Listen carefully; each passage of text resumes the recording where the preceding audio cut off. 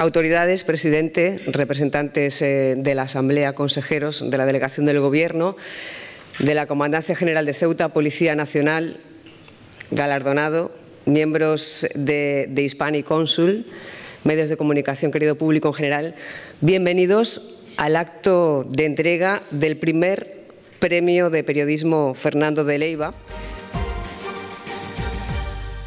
una iniciativa organizada por la Ciudad Autónoma de Ceuta a través del consejero de, Educación de la Consejería de Educación y Cultura, por eh, la entidad Hispanic Council y también con la colaboración del Ministerio de Defensa, que tiene por objetivo incentivar que los profesionales de la información y de la comunicación pongan el foco, pongan la atención en la difusión del legado español en Estados Unidos. Y lo hacen premiando, como hoy, al mejor trabajo periodístico del año, en este caso de este 2022, que aborde esa presencia y ese legado español en Estados Unidos. Además, también es una forma de recordar y de poner en valor el papel de uno de los héroes de la guerra de la independencia de Estados Unidos, que era un ceutí, el militar Fernando de Leiva, que tuvo un protagonismo determinante en la batalla de San Luis, lo que hoy es el estado de Missouri, liderando la heroica defensa de esa estratégica plaza a orillas del Mississippi y lo hizo con apenas 300 hombres frente al brutal ataque organizado por Gran Bretaña. Una victoria que luego fue clave en la posterior independencia de Estados Unidos. Y precisamente Fernando de Leiva es también el gran protagonista del artículo galardonado en esta primera edición del premio que lleva su nombre, elaborado por el periodista Francisco Carrión Molina, que ha desarrollado una excelsa labor en busca de los descendientes de Fernando de Leiva, el héroe español de la independencia de Estados Unidos. Un artículo publicado en el Independiente el 14 de septiembre de 2022.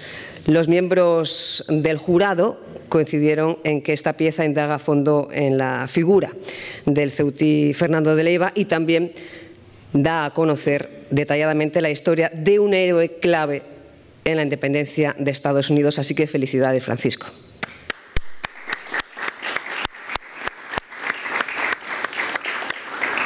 Y ahora eh, tiene la palabra el presidente de la entidad de Hispanic Consul, una de las entidades que, como les decimos, promueve este premio, el señor don Daniel Ureña Uceda.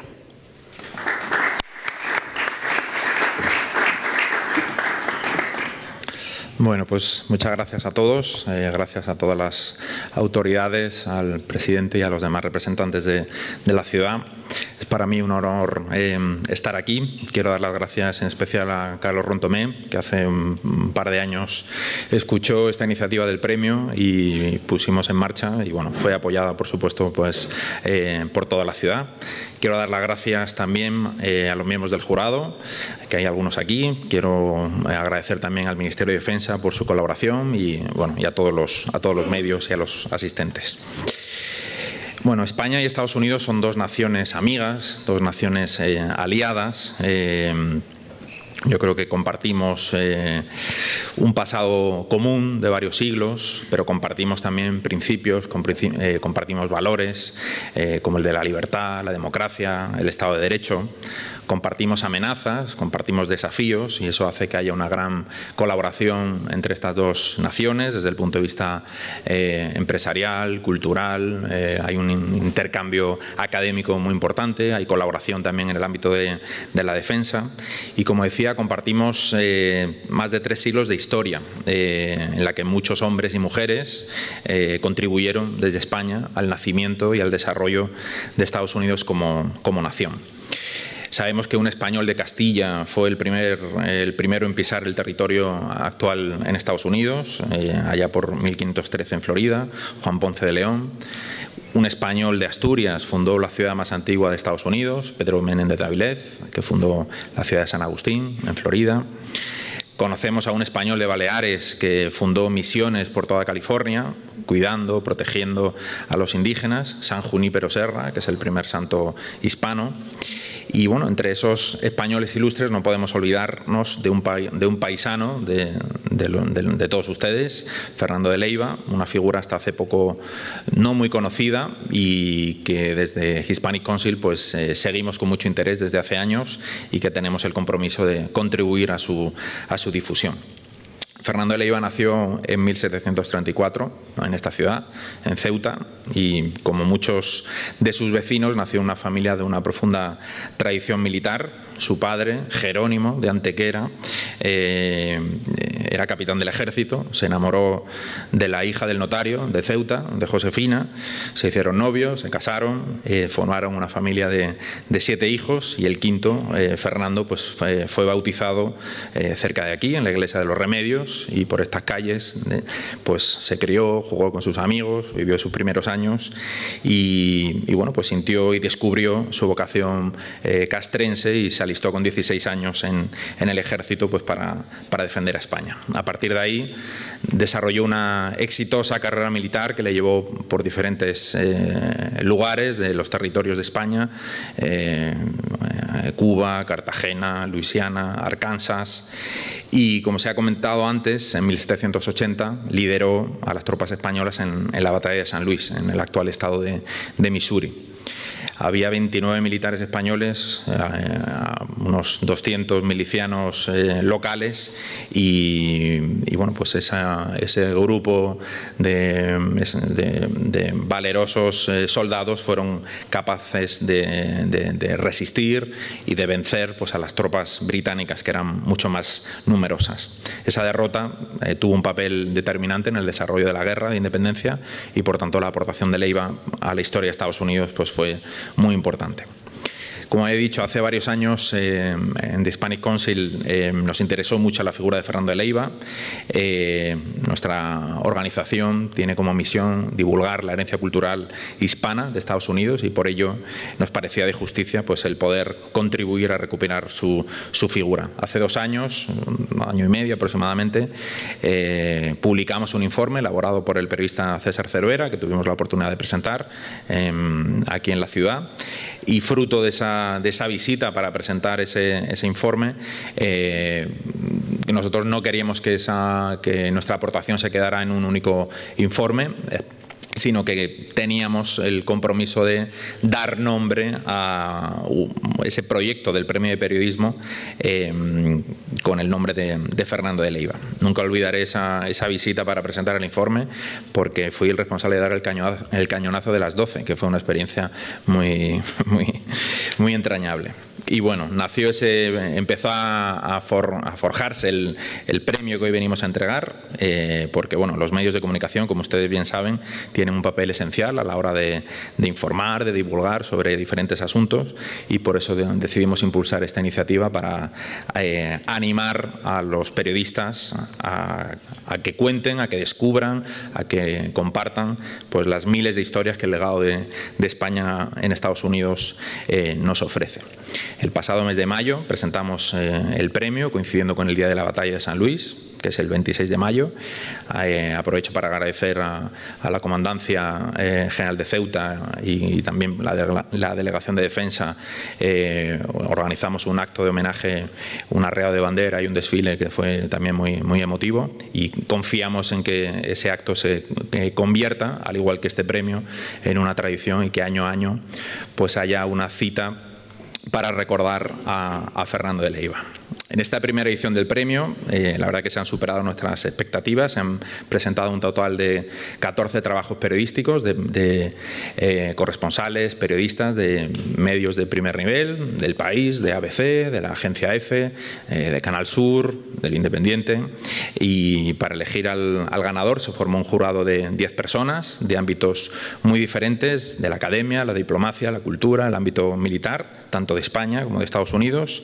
Al final de septiembre, noviembre los miembros del jurado se, reunieron eh, en una reunión telemática desde diferentes ciudades, desde Boston, eh, Washington, Nueva York, Austin, en Texas, Madrid y, por supuesto de Ceuta. Bueno, entre Ceuta y Melilla, no recuerdo exactamente dónde estaba uno de los, de los miembros, creo que estaba en un barco.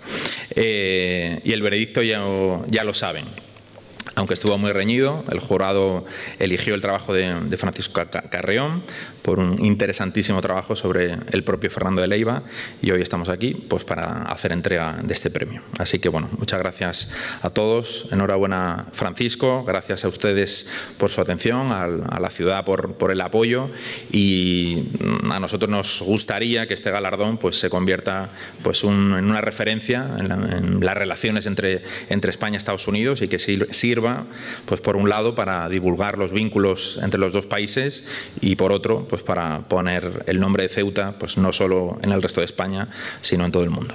Así que muchas gracias.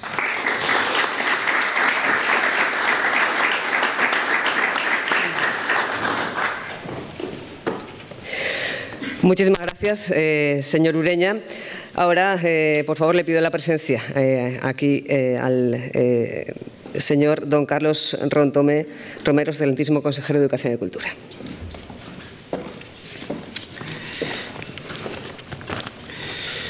Muchas gracias. Buenas tardes, excelentísimo señor presidente de la Ciudad Autónoma de Ceuta, consejeros, eh, diputados, autoridades civiles y militares, eh, miembros del jurado, Bienvenidos a este Salón del Trono del Palacio Autonómico, donde vamos a, en unos instantes vamos a hacer entrega de este premio Fernando de Leiva de, Periodismo. Un premio que, como han indicado anteriormente, surge por iniciativa del Spanish Council, con el objeto de promover la difusión del legado español en Estados Unidos y recordar la gesta de un militar ceutí, Fernando de Leiva, un militar que tuvo un papel destacado en la guerra de independencia de los Estados Unidos. Quiero agradecer al equipo de Spanish Council y en especial a don Daniel Ureña la feliz idea de considerar a Ceuta como sede de este premio. Un premio que sin duda servirá para, un mejor conocimiento de todo aquello que une a los Estados Unidos con España y con la ciudad de Ceuta. El galardonado, que es, realmente es el protagonista de este acto, en esta primera edición es don Francisco Carrión, periodista. En la actualidad, don Francisco Carrión ejerce la labor periodística en el diario El Independiente. Durante la última década estuvo destinado como corresponsal del diario El Mundo en la capital de Egipto, El Cairo. Desde el año 2011 cubrió sobre el terreno los años más convulsos de la historia reciente de Egipto, desde la primavera árabe hasta el golpe de Estado de Abdul Fattah al-Sisi. Y es el Cairo precisamente el lugar que describe a través de diversas biografías en su último libro, que esperemos poder deleitarnos con su lectura, El Cairo, Vidas en el Abismo, editado por Ediciones Penínsulas en este año 2022.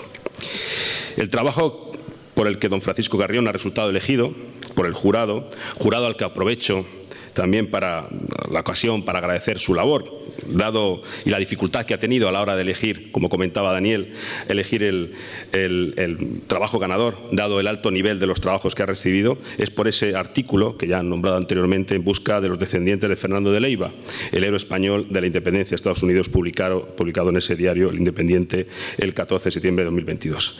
Este artículo es el resultado de una excesa labor de investigación por parte de su autor, y los miembros del jurado coincidieron en que la pieza de Cairrión indagaba a fondo en la figura del ceutí Fernando de Leiva y daba a conocer detalladamente la historia de un héroe clave en la independencia de Estados Unidos. El trabajo de don Francisco Carrión nos da a conocer esa figura histórica, la de un militar ceutí, un militar que, como ha comentado anteriormente el presidente del Spanish Council, estuvo olvidada durante décadas, pero que ahora nos vemos vemos que se recupera gracias a trabajos y investigaciones como la que nos trae a este acto. De la lectura y de la descripción del personaje que hace el autor en su artículo, me quedo con dos de los rasgos que de manera más palpables entiendo que caracterizan a don Fernando de Leiva como ceutí.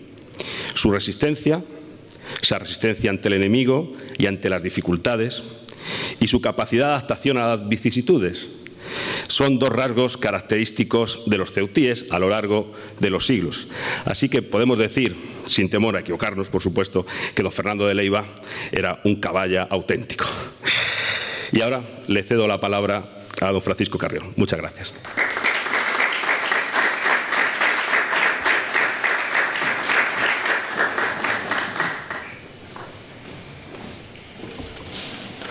Eh, buenas tardes, eh, señor presidente, autoridades. Eh, es un placer estar hoy en Ceuta. El premio verdadero es descubrir esta ciudad y sentirse tan en casa. quiero comenzar agradeciendo al, al señor presidente. Llevaba un año y medio persiguiéndole literalmente para hacerle una entrevista y el hecho se, consumó anoche. ¿no? Y creo que fue un encuentro feliz, al menos para mí. Descubrimos que nos apasiona la novela negra mediterránea. Eh, yo me lo pasé muy bien, presidente, hablando de Petros Márcaris y de Jaritos y de su deliciosa manera de describir una ciudad, Atenas, y un tiempo, el actual, con todas eh, sus vicisitudes. ¿no? También conversamos de Pamuk y de este Mediterráneo que nos abraza. Hoy he tenido la posibilidad de visitar la ciudad y me ha recordado a otras eh, ciudades mediterráneas en las que también me he sentido en casa y, en las que he sido muy feliz. ¿no? Tengo una relación especial con Alejandría, una ciudad a la que en mis 11 años eh, en el Cairo huía en busca de los cielos más limpios y, del mar. ¿no? Eh, todas las ciudades del Mediterráneo se parecen y todas son, por mucho que sus actuales moradores y sus gobernantes se empeñen, lugares cosmopolitas, abiertos, a la, con ricos en historia, absolutamente fascinantes para para, un periodista. Yo os eh, agradezco enormemente haberme regalado esta visita a una ciudad que presume de ser puerta de entrada a un continente, el africano, y a un mundo, el árabe, al que me une una biografía personal que estará eternamente en deuda con esta zona. Eh, yo me reconozco y me siento un poco egipcio, o bastante, tras una década viviendo eh, en ese país y me siento mediterráneo. Soy muy consciente de lo que nos une, especialmente a alguien que procede del sur de España y lo considero además un enorme tesoro. Es muy fácil conectar con la, otra orilla, con la otra orilla cuando uno conoce los códigos y lo hace con el respeto inmenso de quien busca únicamente descubrir, conocer y hacer preguntas hasta desfallecer, que a mí es lo que me gusta. Ya lo comprobó usted ayer, presidente. Y, aquí entra Fernando de Leiva. ¿no? A mí me parece una figura capital, un héroe en todos los sentidos del término. En un tiempo sin Internet, de viajes largos, larguísimos, de Leiva fue un militar que cumplió con su deber, con creces, su intervención cambió el curso de la Guerra de la Independencia eh, y fue un intelectual que demostró una avidez por descubrir y conocer el mundo que produce cierta envidia hoy. Cruzó el, océano y dejó un legado que debemos, tenemos que reivindicar como propio y es fundamental hacerlo ahora que algunos están tan interesados en aprovecharse de, la desmemoria, la individual y también la colectiva. Por eh, mi trabajo he conocido y viajado a lugares del mundo que fueron la cuna de la civilización, el lugar de tantas primeras veces, como yo le digo, de la rueda a la escritura. Y he visto cómo son hoy, por desgracia, lugares de conflicto, de tejidos sociales multiétnicos y religiosos completamente destrozados por un odio inoculado, siempre ajeno. Soy especialmente consciente de que todas las conquistas sociales, la propia convivencia, son conquistas fugaces si no hay una sociedad educada que, las defienda a diario. Por eso es tan importante reivindicar el legado de Leiva y hacerlo frente a la desmemoria que resulta tan nociva pero tan, rentable para los mercaderes del conflicto y del odio. Hay que reivindicar además la figura de los investigadores y de instituciones como eh, el Hispanic Council. Yo estoy especialmente agradecido a Christine, la estadounidense con acento sevillano, del Aljarafe sevillano, dice ella, que ha, buceado de manera incansable la descendencia de Leiva. Su trabajo, impecable y minucioso, merece un reconocimiento mayor del que tiene hoy. Su libro está en inglés, pero no en español. Ahí lo dejo. ¿eh? Quienes desconocen su historia y su pasado son incapaces de aceptar el presente, con sus enormes contradicciones. De ahí, evidentemente, los males de nuestro tiempo, el sectarismo, la polarización, la intolerancia, la incapacidad para ponerse en el lugar del otro, la empatía, y para admitir que la realidad no es lo que uno espera o piensa. La realidad siempre sorprende. Quienes no aceptan el pasado con sus múltiples aristas tampoco pueden entender el futuro y sus desafíos. Los intransigentes son siempre malos compañeros de viaje.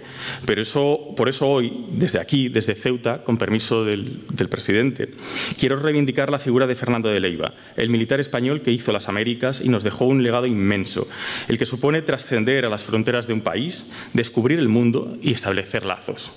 Ojalá hubiera hoy en España más Fernandos de Leiva y más por viajar en busca de otros lugares y otros pueblos. Mil gracias.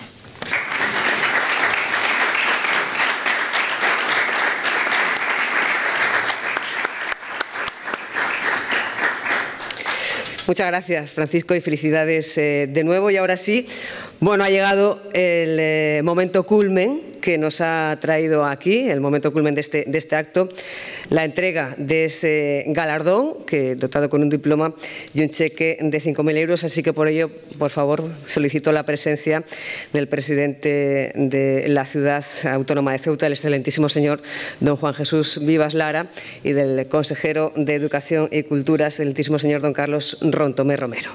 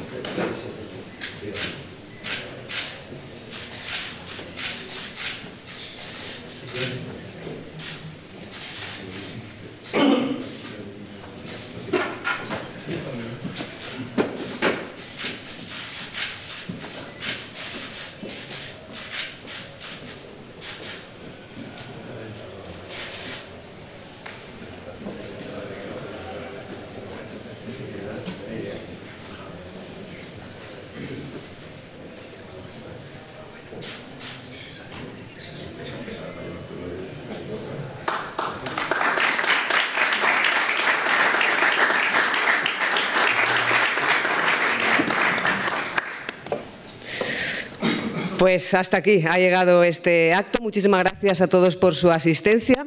Felicidades de nuevo a Francisco Carrión y que eh, esperemos que volvamos a reunirnos aquí en Ceuta celebrando otra nueva edición de este premio Fernando de Leiva de Periodismo. Muchísimas gracias y que tenga muy buena tarde.